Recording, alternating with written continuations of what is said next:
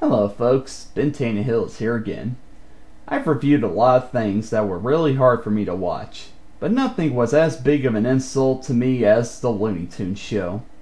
I know I badmouthed this show so many times in the past, but that's only because of how much it personally hurts me.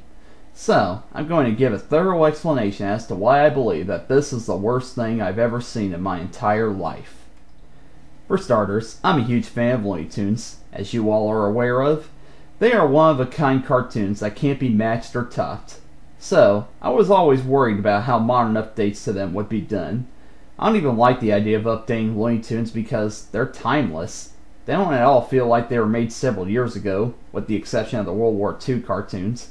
So, when I saw that Cartoon Network was going to make a new Looney Tunes series, I was kind of excited at first because it showed promise, but my expectations were soon crushed, and my first viewing of the show almost made me lose faith in the animation industry. How could someone screw up the most well known cartoon character so much? It was too hard to believe, but this show is proof that it actually happened. Where this show fails is that it ignores the traits of the characters. The show portrays Bugs Bunny as an average Joe who has bad luck. Well, if the crew of the show would actually watch a Bugs Bunny cartoon, they would see that he's supposed to be a wise guy who's able to outsmart opposers who interfere with him. He's supposed to represent the guy who we want to be, not who we are. Then, they screw up my favorite character, Daffy, turning him into a brain dead moron. Again, in the original shorts, he wasn't stupid, he just made common mistakes that we all make. A lot of his plans are actually clever, but they just have loopholes that his enemies are able to spot and take advantage of. While I prefer the crazy Daffy from the 30s to the early 50s, the egotistical Daffy is insane in his own little way, which I am entertained by. I would go into how I believe they ruined all the other characters, but I'm trying to keep this video as short as possible.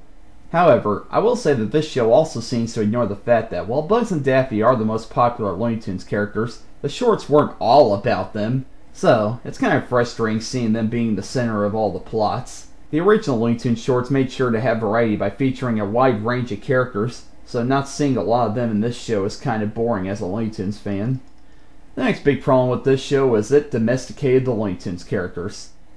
Again, looking back at the original shorts, a lot of the stories were built around the Looney Tunes characters being wild animals defending themselves from aggressors, so the charm of that is lost by making them appear as humans who just happen to look like animals. Also, this sitcom format is another aspect that kills this show. Seeing as how the original Looney Tunes are 7 minute shorts, the stories were fast paced and the gags came quickly, which heightened their comedic impact. However, since this show is a 22 minute episodic format, it has to stretch the stories out, and the gags take their sweet time showing up. This makes the episodes boring to sit through, as they lose the zany style of the original shorts. And another thing that this show lacks is the use of orchestrations. Now, the shorts were called Looney Tunes for a reason. They relied as much on music as they did on the animation. The music helped set the wacky tone of the shorts, and it helped increase the impact of the gags. With this show lacking music, it contributes to the overall dull tone of it. Then there's Lola. To be honest, I never was a fan of this character, even before the show premiered. However, this show changed her from a forgettable character to one that is hard to forget due to how annoying she is. I've heard so many people praise how Lola now has a personality, and how she's the favorite character of a lot of people. Well, all I see is just another dumb blonde character that we've seen in everything else. She's just Luanne Platter wearing a bunny costume. Most of her jokes are from her being stupid, and that's it. Doesn't Daffy already fill that void in this show?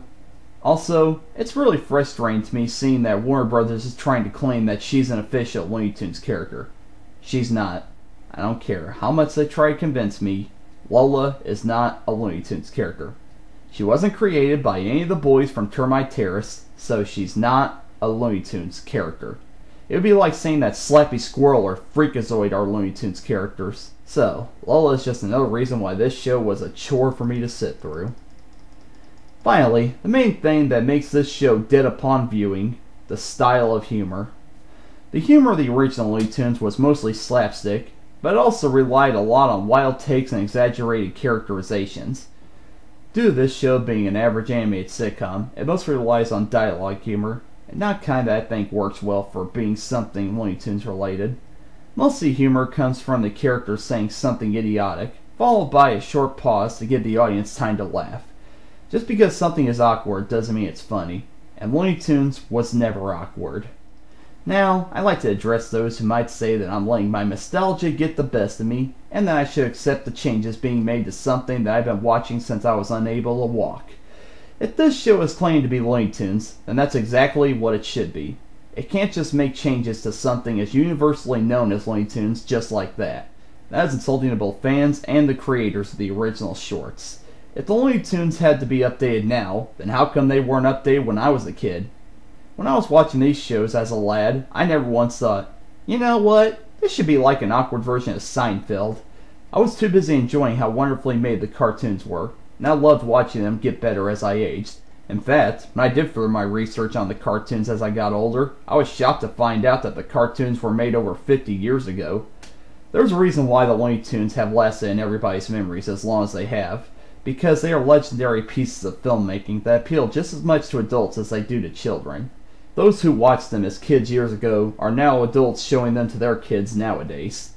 This show would have been better off not being created at all, because Looney Tunes are just fine the way they are.